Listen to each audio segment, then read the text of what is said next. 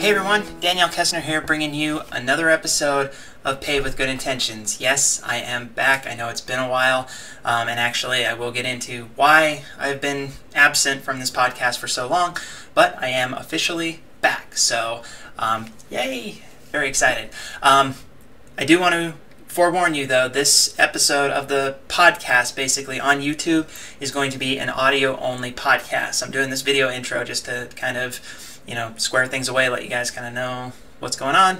But yes, it is an audio only podcast. I've been doing a lot of um, different things with you know my setup and how I'm doing things. So I'm not quite to the point where I can do a video podcast version of it. So unfortunately, this is going to be all audio. But as a bonus, just sort of as a you know welcome back, I am doing the full episode on YouTube. So the episode that I normally do just on iTunes and Stitcher, I'm going to do the full episode right here on YouTube, the whole audio. So it's going to have both the main story as well as the supplemental material that I normally just put on the audio podcast. So everyone's a winner today. Um, and in that second section, I will discuss where I've been for so long. But thanks again for watching Paved with Good Intentions, and I hope you enjoy the episode. When I say paved, you say with good intentions. Paved.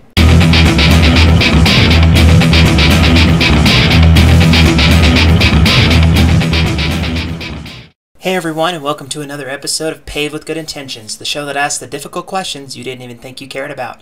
I'm Danielle Kaessner, and this podcast is produced sponsor free, so thank you for supporting independent artists. It's been a while, I know, but here I am back, hopefully doing podcasts a little bit more regularly, and I will get into why I was gone in the second part of the episode in the introspective. But first, today we're going to be talking about a subject that has come up somewhat recently in a big way, but has obviously been around for quite some time. And whether people stress the importance of it or not is up to them, but I feel like it's something that needs to be discussed, it needs to be said. And what I'm talking about is sexism in Hollywood. So, two weekends ago, Ghostbusters was released, and the movie came out to moderate reviews and modest returns. Honestly, it's an average movie, but it's still a very funny movie. I enjoyed it very much, both times I saw it. Now, Ghostbusters has the unique honor of being one of the most hated movies before it was ever even released. On YouTube, it has some of the most dislikes of any trailer ever, which is quite a feat given that the movie is a comedy and harkens back to childhood for many of us. And much of the antagonism that's been you know brought this movie's way is because it's a remake of said beloved movie, Ghostbusters. But more aptly, the main characters are all women, which makes this remake somewhat unique from its original predecessor. Now, the knee-jerk reaction to this is that the vitriol that's being spewed for this movie is in fact sexism, but that doesn't mean it's wrong. Even if it's just a knee-jerk reaction, that certainly doesn't mean that it's wrong criticism of the movie is fine, but focusing on the fact it's a remake with women in the leads is where it becomes a problem. Now, there's a fair amount of both arguments that the movie is bad for one reason or another, but then people who are saying the movie should be boycotted and bad because they took four male characters and replaced them with four female characters. Now, when you look at the movie itself, Ghostbusters is not exactly unique as a remake in terms of content. Both movies have a similar base story, a team building type of story, scientists chasing ghosts in New York City. Both films have the same crop of actors, namely SNL alums, and both of them have the same purpose. They're both meant to be silly comedies. They're not intended to be anything grand or anything different than just good comedy, SNL style comedy. And the only real difference between these movies, aside from the generation of the comedy, is the fact that the main characters are female. Now, this movie is somewhat of a milestone because it's one of the most prominent of its kind, if not the first female team major blockbuster, at least of this size. We've had other female driven blockbusters before, but this is certainly one of the most iconic that they've given us. So it's certainly a milestone given that source material. And not only does it, you know, present that material really well, it shatters the Bechdel test. And if you're not familiar with the Bechdel test, it's a three test rule to basically say, does the film have more than two named female characters? Do they talk to each other at any given point in the movie? And do they talk to each other about something other than men or about a man, basically? So, now the point, this point that the movie is obviously very strongly female, that point is not lost on many of the reviewers, particularly the non professional reviewers. Now, there's been a trend over the past few years to have more prominent female characters in big budget movies, and some of them are not only prominent, but even the focal point of the story. Let's look back at Star Wars Episode 7 The Force Awakens. You could argue that the main character of that film is actually Rey, the girl who's picked up on Jakku. So even though she interacts with Poe and Finn and Han Solo and all that, the focal point of the story is Rey and her journey through this. Now, in that movie, there are some clever paradigm shifts that you really have to be looking for when Finn and Rey are running through the, you know, basically being chased by the stormtroopers, and she keeps telling him, you know, to let go of, you know, her hand. And then there's an explosion. They're both on the ground, and it's Rey who hands who holds out her hand to Finn to lift him up. Or one that really stuck out to me was when they're in the cantina Finn and Rey are having a conversation, and Rey is on a step and looking down at Finn. Now, that dynamic is typically where a man is looking down at the woman, but in this case, the woman, the female character, is looking down at the man. So, The Force Awakens certainly had quite an important paradigm shift in terms of the female characters. Then, of course, there was Mad Max Fury Road, which was not only an awesome movie, but the main character of the story was not even the titular character. It was Furiosa, she was the hero of the story. She was the focal point, and Mad Max was really just there to support her and help her on her hero's journey. And this movie sparked a men's right reaction. Now, Force Awakens had its own problems when it cast John Boyega as basically the main the male lead, but in this case, Mad Max Fury Road, the men's rights movement decided to, you know, throw out a boycott for this movie because they said it was veiled feminist propaganda. Now, more of this is coming in the future with comic book movies, particularly. We have solo movies coming for Wonder Woman, Captain Marvel, Harley Quinn, and more. And so, even though some of these fall into their typical tropes of you know female characters portrayed a certain way, namely, there's already been backlash against Harley Quinn's costume in Suicide Squad. So the question is going to be, what is her solo movie going to be like? And then there's Black Widow, a character we've seen in the Marvel Cinematic Universe for quite some time, ever since Iron Man 2. And she hasn't had her own film. But ever since there's been a, a great amount of backlash for Black Widow not getting her own film, they are strongly considering actually giving her one. Um, which shows that the response to the backlash has actually worked, not to mention all the other problems that Marvel and Disney, for that matter, with the Star Wars, of not portraying their female characters prominently, despite the fact they are the one of the main characters in those movies. And that goes to show that the ambition for female-led movies is seldom automatic. That you know, Black Widow is a great example of that because you would think a character that they've been building up for so long that she would get her chance to shine right alongside Thor, who's had two underwhelming movies, The Incredible Hulk, Iron Man, Captain America, she's basically in that top five of the Avengers, and yet it's taken more of a fan reaction and anger in order for them to even consider a Black Widow movie, at least publicly. And it might not even get made, despite her contributions to the MCU. Captain Marvel will be the first Marvel character to get her own solo film, and this will be the first time we see Captain Marvel, allegedly at least.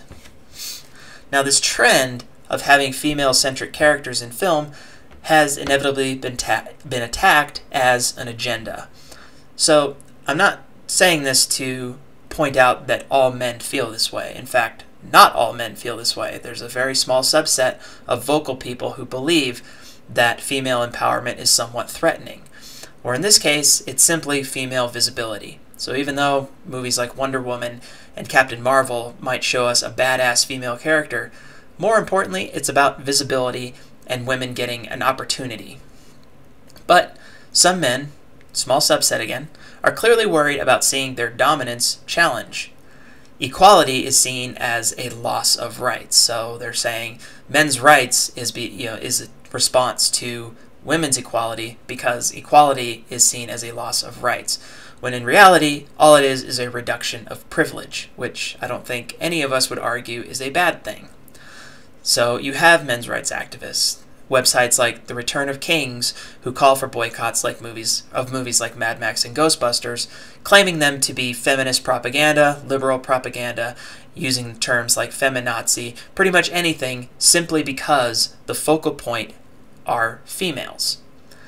Now, what's interesting about this is that it suggests that the ownership of ideas or properties belongs to the public. That in order for the public to embrace something like Ghostbusters, we have to the public has to allow it to happen. Making any alterations are unwelcome without their permission. So the Ghostbusters movie that we got is somewhat of a, you know, it's a crime because we didn't give permission to have a female-led Ghostbusters movie. Personally, I think it was a great idea. But because people say, well, the original Ghostbusters was four men, so if you're going to remake it, it has to be with four men. That suggests ownership of an idea. But they don't own this idea. None of us own this idea. The studio owns the idea, and if the studio wants to go forth with this kind of movie, that's absolutely within their right. And Paul Feig has spoken out as to why he chose to go down this path, and honestly, I think he succeeded.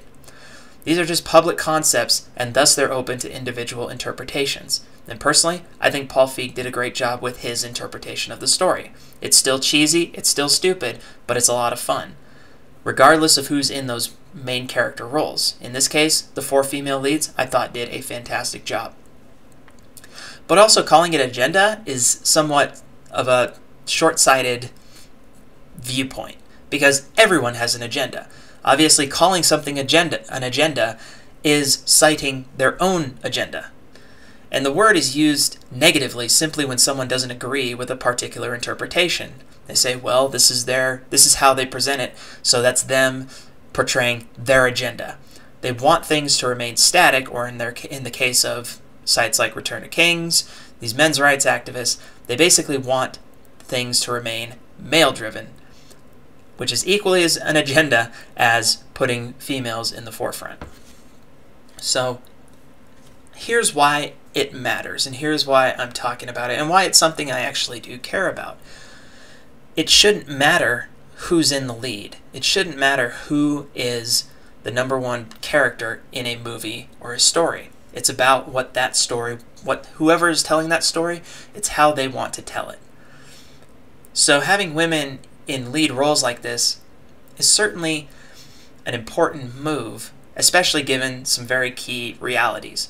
Women make up about half of the population. So obviously a movie that is strictly male driven might not appeal to half of the population. Likewise, a movie that is strictly female driven might not appeal to the other half of the population. But there's a big difference between a lack of males and a lack of females because the lack of females in film is something that's actually a serious problem. I'll bet if I asked people to name five female directors, most of them probably couldn't name five. In fact, directors in Hollywood females are outnumbered 12 to 1 compared to male directors in terms of opportunities. So that is a clear disparity in the opportunities, especially for black women. Not only directors, writers, producers, and actresses, particularly black women, have a real struggle getting their foot in the door and getting opportunities to prove themselves in this industry. Since the beginning, Hollywood has been a male dominated industry a lot of the best choice roles, best parts, go to males because they're the ones who typically are selling the tickets, and because the ones who are behind the scenes are the men. Even in this Ghostbusters movie, despite the strong female presence, Chris Hemsworth gets a number of choice lines in the movie. He's given a lot of the comic relief in the movie, which obviously you could say, well, as long as he's, you know, everybody else gets an opportunity, but a lot of people might look at Chris Hemsworth and say he's the reason that that movie is funny, which would obviously undermine the work that the actresses did in this movie. there's also a, still a clear pay gap for women in Hollywood. Notable actresses, including Oscar winner Jennifer Lawrence, have been paid less for their work than their male peers, even if they get the same amount of screen time or pro- provide the same amount of effort to a project. And what's happened with the fact that the industry has been this way is that it almost conditioned us to believe that what we've always been given is all that they can give us. That's how it's been in the past. Is all the great movies. If you pull if you pull out the list of the top 100 movies, most of them are going to be male-centric movies because in a sense, female-centric movies challenge that history of Hollywood. You're going to talk about movies like The Shawshank Redemption or The Godfather or 2001 or all these other movies. So many of them are male centric, but that's because those were the opportunities that were given. How many women in those years weren't given opportunities to prove themselves? We only had male personalities, so there's no way to judge male versus female when you have movies on an equal plane. It's never been that you don't have a clear pool of information to pull from when you have male versus female driven movies. Most of them have been male driven because that's just the way history, Hollywood's history has been. And so when people say, well, it seems like they're just focusing too much on women's movie, on, you know, on women in movies, the fact is that this is just a blip on the radar. This is just a small amount of data against a crushing amount of data that shows the opposite has been true ever since Hollywood began. And despite the challenges that female led films have had, they've actually also been very successful. Movies that are catered more toward women or that have strong female roles are often very successful. Even Ghostbusters, despite what people were saying, it still ended up with $45 million in its opening weekend, which they have to be happy about because it could have been a lot worse. And the scores coming out of it, a lot of people enjoyed it. A lot of people did have fun with it. Also, a lot of people didn't, but that's also personal criticism. On a larger scale, this is not just a Hollywood problem. This is a societal problem in the US. Like, just as an example, we are on the cusp of potentially having our first female president, which to us seems like this big milestone, this big, you know, hooray for us moment. But what we fail to realize is that women had, have held high positions in other countries for years. Like we are one of the we are lagging so far behind in terms of other countries, both developed and underdeveloped countries, that it's somewhat embarrassing to to say that well we might finally have our first female president whereas her opponent is one of the most apparent promoters of male dominance especially as an example, referring to a journalist, Megyn Kelly, who simply was challenging him as a journalist is supposed to do, referring to her as a bimbo. That is a pretty clear indication of what he thinks of a woman of any kind of in any kind of position of power. In the US, we have the issue, the trans bathroom issue, which is often cited as it's for the protection of women, which is a sentiment that is sexist to begin with because it suggests that women A cannot protect themselves and B require men to be the one to protect them, when in fact women are more than capable of protecting themselves and they can also help each other. It's not simply men trying to protect women. So the whole trans bathroom issue has just highlighted even another subset of sexism that exists in our culture. And then, of course, there's the call for women to remain in traditional gender roles. A lot of times these come with religious justifications for female submission. One famous Christian sect, if you can call them Christian, in the United States is the Quiverfull movement, which suggests that women should always be pregnant, which is basically a suggestion that women should always be filling a role for their husbands, for men, essentially, which is essentially one ridiculous for a woman to always be pregnant and just continue having babies in a world that's already somewhat overpopulated, but also the fact that if a woman chooses not to have a child, that's also her choice. And as a future focused country, we spend way too much time mired in the past, thinking about how oh, things used to be great. Just Donald Trump's slogan alone, let's make America great again, that has an absolutely ridiculous connotation when you think about, well, when was America great, really? In reality, one one of the reasons that we continue to strive for that is because there is this illusion of greatness in the past that the past was this fantastical fantastical time where everybody was prosperous everybody was happy but the reality was unless you were female or unless you were black or asian or mexican if you were any kind anything other than a white christian male more than likely your opportunities were not so great. And as a country that's so future focused, we tend to look at the past with this, you know, rose colored glasses instead of looking at it for what it really was, which was a lot of bad opportunities. Hollywood has a tendency to drive a lot of culture. Whether we want to believe that or not, it really does. The movement is certainly shifting toward more inclusive attitudes, which include race, gender, sexual orientation. In fact, in Marvel Comics, the new Iron Man is a black woman, which is pretty awesome. And of course, this is being met with severe resistance. It's, again, decried as an agenda. And this would make sense if there were ownership involved, but again, these are publicly consumed properties. So if somebody wants to have Iron Man as a black woman, they are more than welcome to have Iron Man as a black woman, and there's nothing stopping them from doing it. The criticism and the response is going to show multiple things about how people are consuming media. And if they're consuming media expecting only to see what they want or only what is normal to them, then of course these things are going to be met with severe resistance.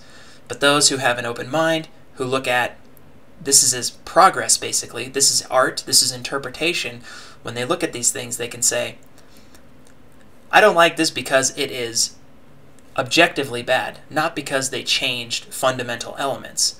Or they can say, I love this because it is trying new things, and as a future focused country, we should always be intent on trying new things. Ghostbusters is a major step forward regardless of how it's received, because what it says is that women should have the same opportunities as men for major film roles especially in a movie about scientists and ghosts and extremely silly comedy, which is exactly what Ghostbusters is. Women should have those same opportunities as men to do that, which is what Ghostbusters showed. And even though this movie did not do so well, time will obviously tell, it's a ripple. And in the end, money talks, but it will plant the seed. There might not be another Ghostbusters, but there will be another movie like Ghostbusters coming out. And with all these other spate of movies coming out, such as Wonder Woman, Harley Quinn, Captain Marvel, with a number of movies coming out that might challenge these old fashioned ideals, that seed is going to get planted deep. Men's rights activists are going to continue to fight for female suppression. They are going to continue. And like I said, they are a small subset.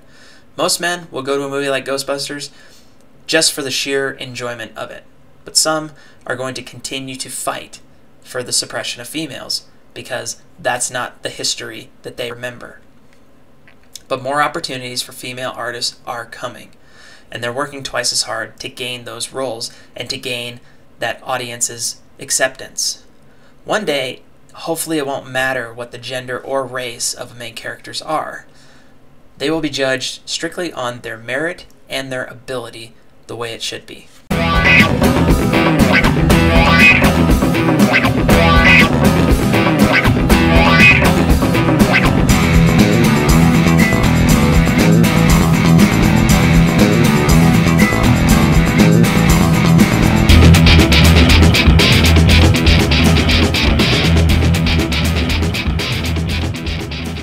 Hey everyone, welcome back.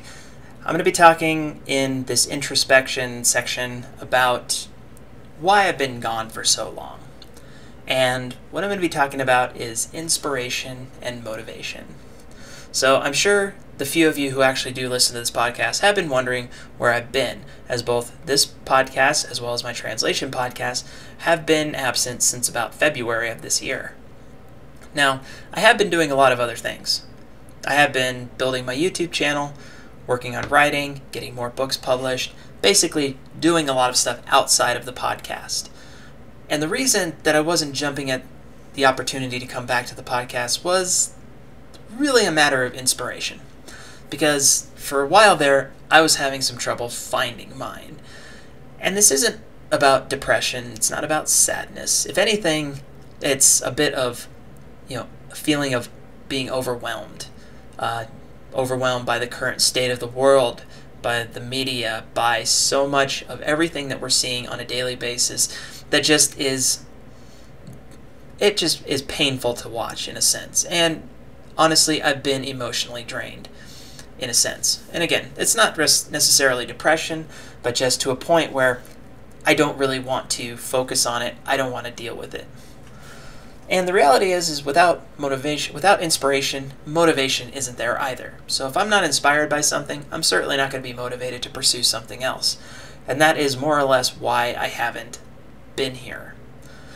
Maintaining motivation is hard, but rediscovering it is almost more difficult. It's this concept of stagnation versus reinvention. So the way I look at it was back in, you know, December, January of this year, I was starting to feel like I had stagnated. The episodes that I was coming out with, as few as they were at the time, were just sort of, eh, whatever I can come up with, this is what I need to do. So it did feel kind of stagnant. And especially on my translation podcast, I was starting to feel more anger than I was trying to educate people, which wasn't what I wanted to do. I didn't want it to become a podcast of just vitriol and anger. I wanted it to be a podcast for education and understanding, which it wasn't at that point, and it was stagnating to a sense. But then there's the idea of reinvention that when you can find that motivation again, when you can find that inspiration again, that maybe it's time to do something different. Maybe it's time to change how you're doing it from the get go. Like, I was feeling pretty stagnant. I didn't feel like the message I wanted to send was being received. But right now, what I'm doing is trying to restart that machine. This is the first step in trying to reignite that fire that I somewhat lost back in February it's really, really easy to get distracted by the stimulation in life. Like, all I have to do is turn on my computer, open up a web browser, and when I go to a news page, all I see are stories of what is going on in the world. And that's it. That's all it takes, is just looking at the news, and suddenly I am distracted for an entire day. Or there's other stuff. There's fun things that can distract me, like going outside and playing disc golf, which I've started doing more again until I hurt my side. There's entertainment, there's movies, there's Pokemon Go, which I don't play, but I hear is a hoot. There's so many things that can distract us in life. There's social events. I went to a lot of concerts in that period. There's, you know, hanging out with people. There's drinking. There's going to the clubs. There's partying. There's staying home. There's reading. There's doing so many other things that can just kill the motivation for doing something that you once loved. And I felt like I had reached a point where I no longer loved what I was doing with the podcasts. I felt like I was just doing it just to put it out there and it wasn't the message wasn't being received. If I was even sending a message at all, maybe I wasn't. So the key to these distractions essentially is moderation and not letting those distractions become the primary focus, which is partly what they did. And even though I was able to keep up on my YouTube videos, like my key gripe videos, movie reviews, for the most part, I was just completely enveloped in those distractions, whatever they were. And I'm here now, and I'm asking myself this question Will I return to the form that I had a year ago? Will I return to the mindset that I had when I was basically in my you know in my zone for podcasting when I could pump out podcasts every other week and they would feel like I had done something. They felt like they meant something. But the reality is, is this is a question we always ask ourselves. We're always reinventing ourselves in a sense. Stagnation is a part of life just as reinvention is. Stagnation is not always a bad thing. Sometimes we say we need to decompress. You know, there was a you know, once upon a time, people would take sabbaticals. They would go for months at a time just to get away from what they were doing get away from who they were, just get away. That was the idea of a sabbatical. And we don't always have that. A lot of times we just say, oh, we got to keep keep turning the wheel is essentially what we're doing. And we all ask ourselves at some point in time, how did I get here? How did I get to this point of stagnation? And how do I get back to where I was passionate about what I was doing? How do I get back to my old form? And sometimes we don't. Sometimes we don't get back.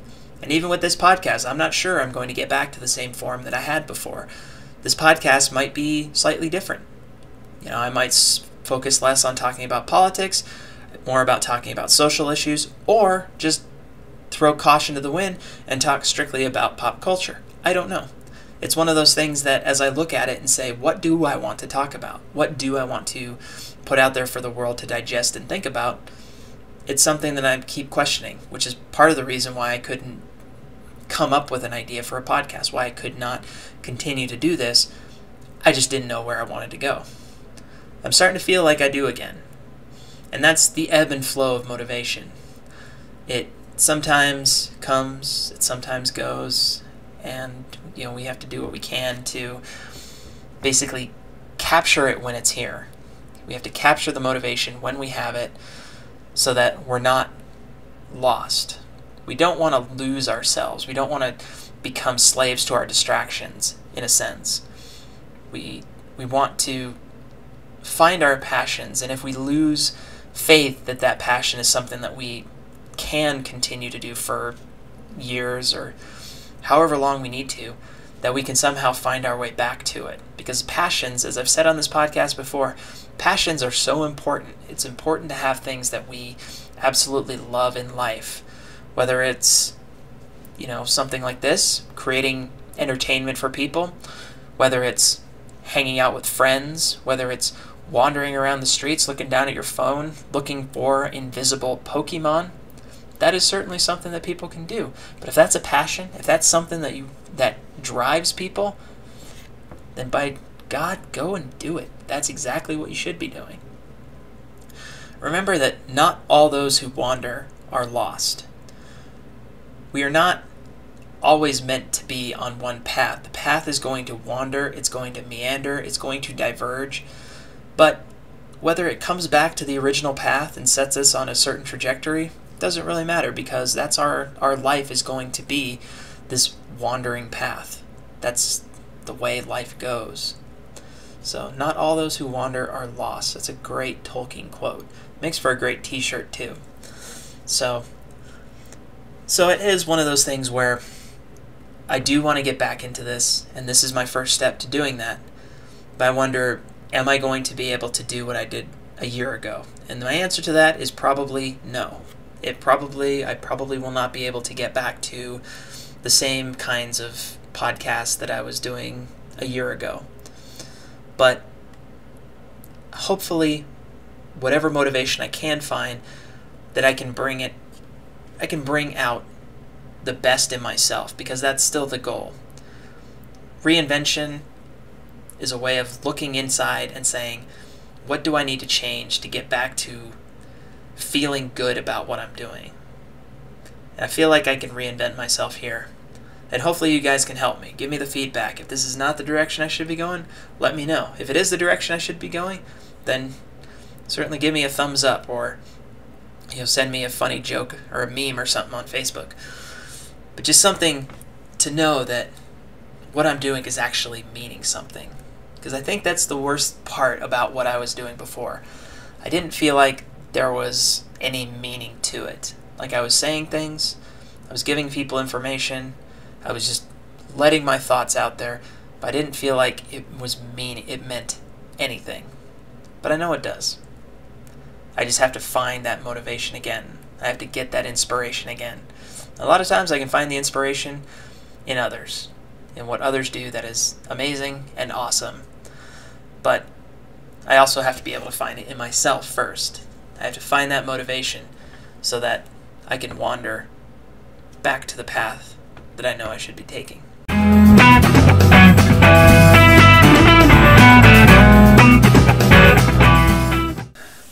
Hey guys, thanks again for watching. Um, please check out more of the episodes of Paved with Good Intentions right here on YouTube, or you can check out the audio versions on iTunes and Stitcher.